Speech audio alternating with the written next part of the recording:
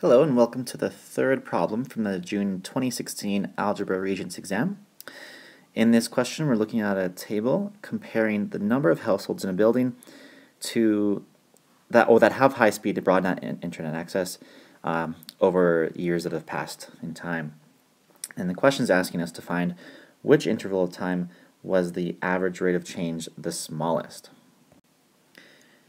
Now for this question it's important to understand how to calculate rate of change. To do that, it's the change in the y variable. Um, some people uh, express that as delta y. That uh, is just a symbol that means the change in. And then we divide it by the change in the x variable.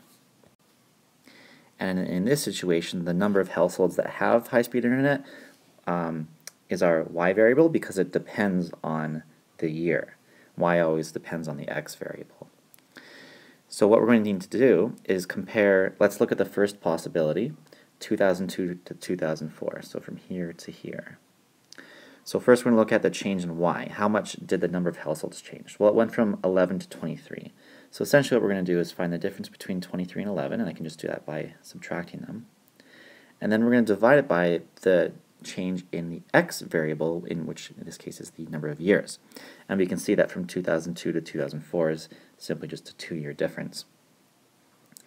Um, so if we were to equate that, uh, 23 minus 11 gets us 12, and then 12 divided by 2 is 6. So our rate of change is 6 for this first example. Now let's take a look at the next one. So from 2003 to 2005, so that's looking from here to here. It looks like the number of households that had internet increased from 16 to 33. And if we subtract those, we'll find out the difference. And that will get us 17. So the difference is 17 in the number of households. We're going to divide that by the difference in years. Again, that's a two-year difference. And 17 divided by 2 would get us 8 and a half. Okay. Let me just change the pen here and we'll, okay, let's take a look at the next one. So 2004 to 2006, from here to here, the number of households is increasing from 23 to 42. And if we subtract those two numbers, we'll find out that the difference is 19. So we'll do 19 divided by 2 again, because it's a two-year difference.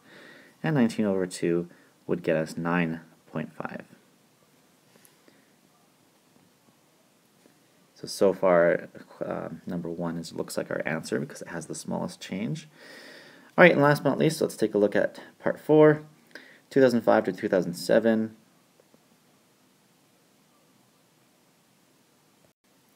So that's from here to here. And our numbers increase from 33 to 47 houses.